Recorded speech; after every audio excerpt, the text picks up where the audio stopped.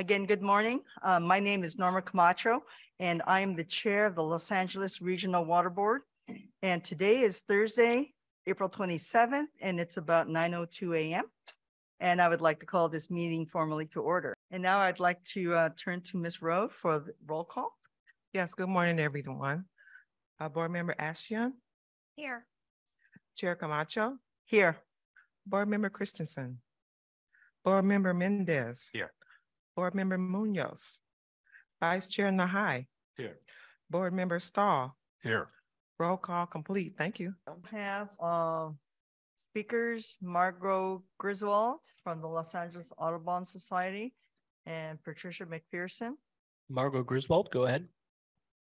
Thank you. Um, good afternoon, board. We have handed out packets, uh, Los Angeles Audubon Society, who I represent. Um, also Grassroots Coalition and, uh, Ballona Education Program. So you have those packets. I want to, uh, say that I'm representing Los Angeles Audubon Society. I'm a restoration ecologist and we have 4,000 uh, members and supporters. Last month, I oriented you to the Ballona wetlands. I'm not going to spend time on uh, what I already told you that the Ballona wetlands is a seasonal freshwater wetlands, that the plan has ignored tribal restoration ideas, they've ignored community ideas, and ignored science and published scientific reports. I want to talk about the drainage of fresh water at Ballona today. And here's a map with four arrows. And I'll start, uh, next slide, please, with the first arrow to the north. But first, I want to remind you that previously in 2017, drains that were not permitted were ordered closed by the Coastal Commission. And within three years, the groundwater, surface water uh, brought back the pickleweed habitat on its own, no restoration. Next slide, please. Area A, arrow one, of water from Area A. This is uncontrolled drainage, undocumented drainage. It goes into the Fiji Ditch and out to Marina Del Rey. Otherwise, the water would be ponding, the wetland would be flourishing. But this is the lack of management of CDFW because they have no land management plan. Next slide, please. If you look at area B, this is important because in your packets, you'll find a summation of the sequences one and two.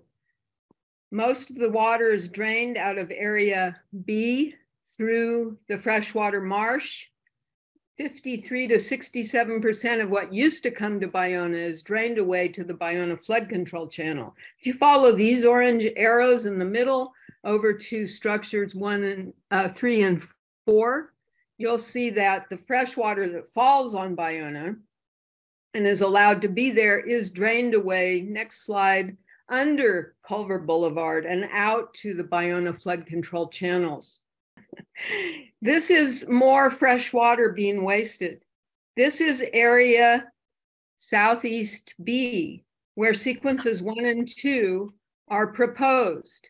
This water drains away every year. This is the area that was analyzed by the final EIR. It includes not only sequences one and two, but 33 other sequences in the project EIR. You'll see circled in pink structure three.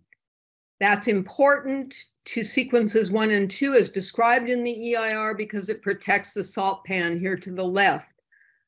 If you look at the current plan for sequences one and two, outlined in area in pink, there is no structure three. This is unacceptable. They must analyze what will happen to the salt pan if structure three isn't there, because as described in the final EIR, structure three controls the tidal water to protect the salt pan that will be drawn up into Southeast Area B, which you saw has a lot of fresh water, not just this year, but every year. And so we would ask that before you approve a plan that will forever change a wetland that is now a freshwater seasonal wetland, that you think about what will disappear, what will never be there again. And it's many endangered species, many, many species. The biodiversity will go down. Uh, next is uh, Patricia McPherson. Uh, I haven't time to mince words, um, and this, uh, Director Nahai, I think that you have concerns about this also. But, um, sequence one and two through the Department of Fish and Wildlife is a private plan for private, for Playa Vista. It is a drainage plan on the public's dime.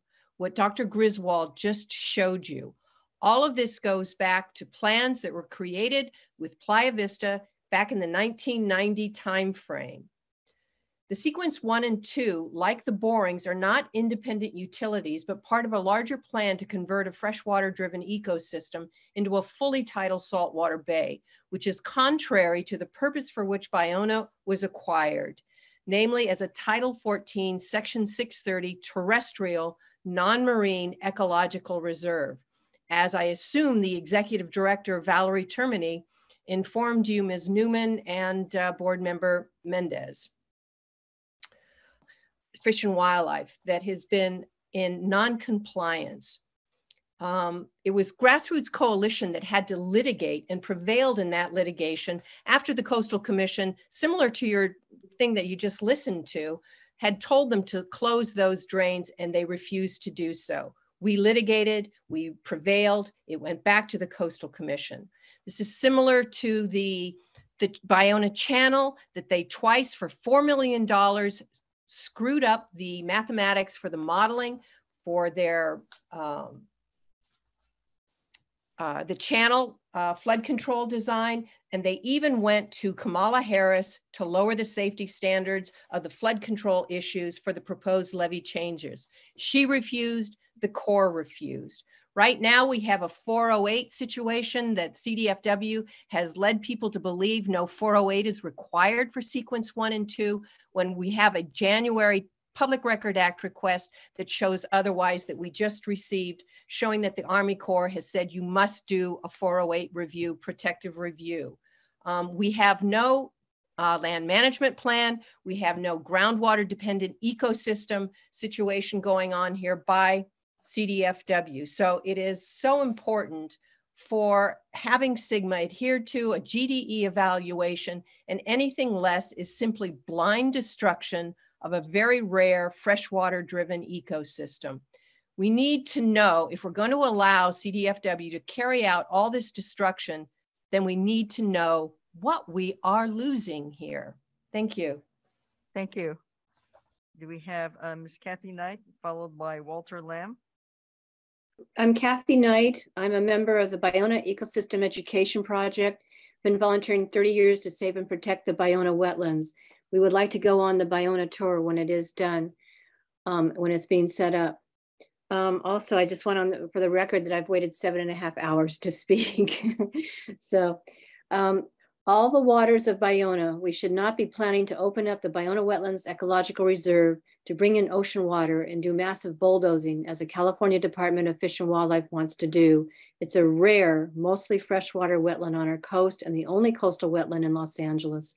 Bringing in salt water will destroy the pickleweed plants that the endangered Belding savannah sparrow depends on and will destroy two freshwater drinking aquifers under the Ballona wetlands by saltwater intrusion. This water is valuable not only to us people, especially with any more droughts, and also wildlife, um, their water needs. So we need to protect the groundwater. We need to know what is California Department of Fish and Wildlife planning to destroy? What are we losing? There are no hydrology studies of the Ballona wetlands. There is only one for Ballona Creek, but it's not the wetlands. We need a hydrology study for this very, very important wetland. Um, and uh, we are we need to protect the saltwater pan at Ballona, like at Elkhorn Slough and Watsonville, California. The Wildlife Conservation Board just approved $4 million to redo a berm to protect the salt ponds there from harm from ocean intrusion because the salt ponds fill with rains And it provides for um, o- o- I think it's called ostracos is how you pronounce it. They're very small, um, called, sometimes called um, seed shrimp that break out and swim out of their shells and provide a major food source for wading birds, including the endangered snowy plover. Here in Ballona, the salt pans act in the same way, yet here California Department of Fish and Wildlife plans to destroy them. And we have the Bolsa Chica example, where um, um, Bolsa Chica's 2021 sustainability report raises red flags after a 15-year experiment of eng- engineered full tidal opening, and now they're considering major closure. Remediation is recommended to restore the destroyed salt, salt marsh habitat and endangered species lost there. So we really, we really need to protect um, this wetland. And also it can, is currently threatened by sea level rise too. So we ask your support to protect the freshwaters of Ballona and um, uh, and not not support the massive bulldozing. It would take 10 years to do it. Massive bulldozing and changing this this rare freshwater ecosystem into a saltwater bay. We don't need that. Thank you. Thank you. And we have two, two more speakers, Walter Lamb with uh, Ballona Le- Wetlands Land Trust and Jeanette Vosburg with the Grassroots Coalition. Walter Lamb, go ahead. Uh, Thank you, board members. I do have a presentation. Um, My name is Walter Lamb, representing the Ballona Wetlands Land Trust. I know that you have a- had a long day dealing with very important issues and and very much appreciate the work that you're doing. Um, And I appreciated the comments just now from Board Member Mendez about the complexity of the issue. And it really is important to get on site to, to really understand some of these issues. So um, wait for the, uh, there we go.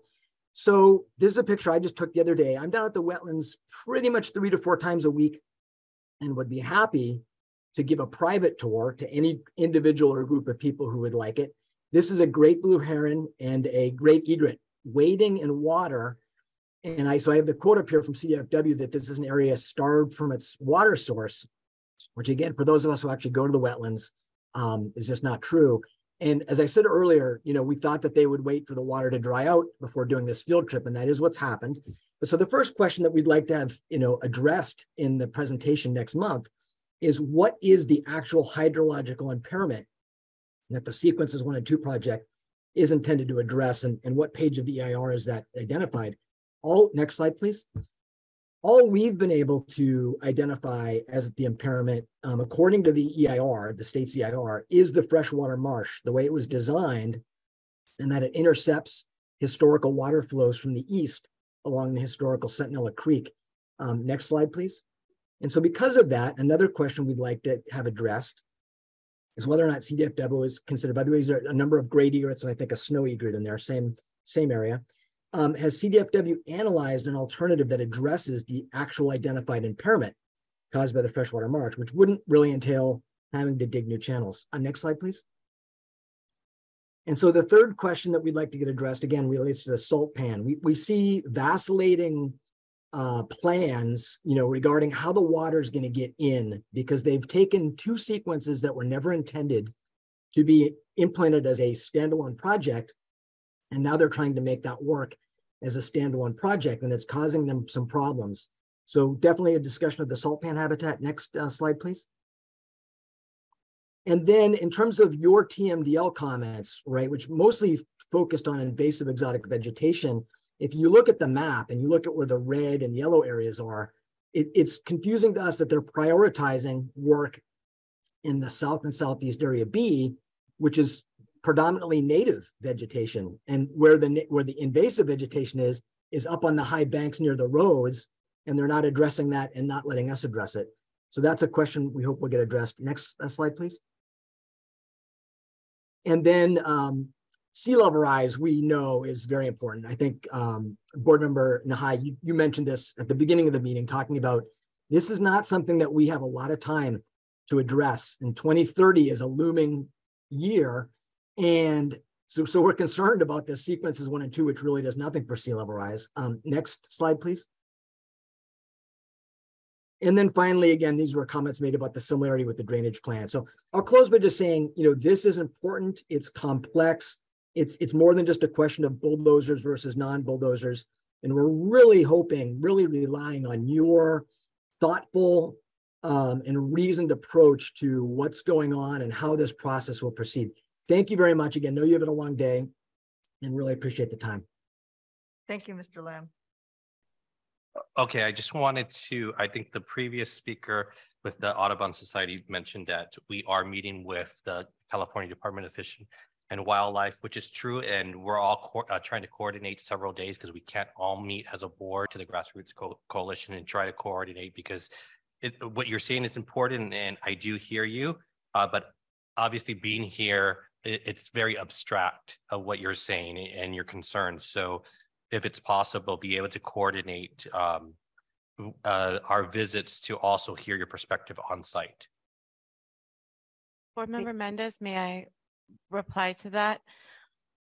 We are constrained by the size of the tour. And so that's um, one of the reasons we need to think about when we schedule and how many people could, could, could attend the tour. So we'll be reaching out to the groups to figure out what representatives might be able to attend.